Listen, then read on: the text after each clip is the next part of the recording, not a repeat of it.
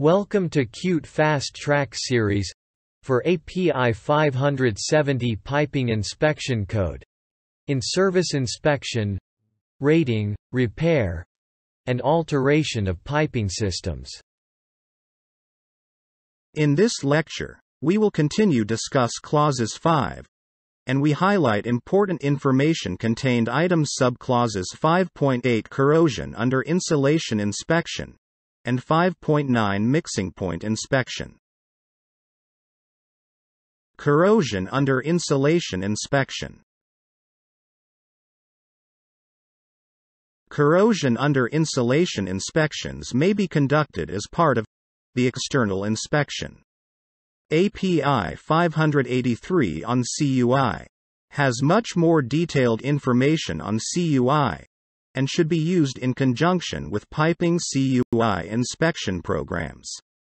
If CUI damage is found during spot checks, the inspector should inspect other susceptible areas on the piping. Although external insulation may appear to be in good condition, CUI damage may still be occurring.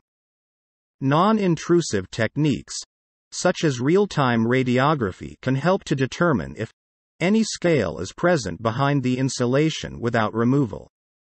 Other techniques such as profile radiography, pulsed eddy current, and guided wave examination can help to locate damage.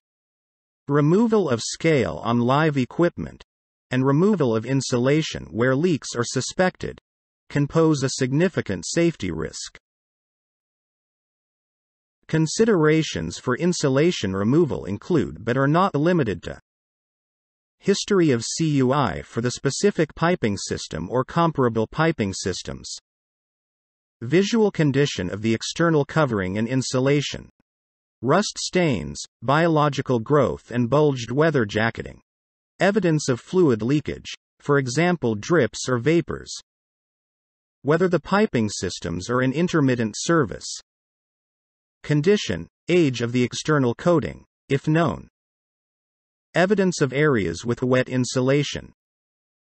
Potential for the type of insulation to absorb, hold more water, for example. Calcium silicate versus cellular glass. Low points of sagging lines. Bottom of vertical pipe. Proximity to equipment that could increase the local humidity, for example.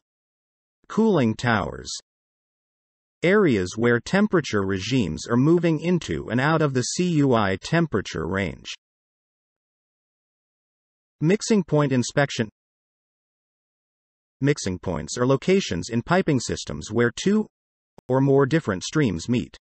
The difference in streams may be composition, temperature, or any other parameter that may contribute to deterioration, accelerated or localized corrosion, and or thermal fatigue during normal or abnormal operating conditions. The preferred methods of inspecting mixing points include radiography and ultrasonics, straight beam and or angle beam, to determine the minimum measured thickness and or the presence of other susceptible damage mechanisms for example thermal fatigue cracking and pitting at each CML.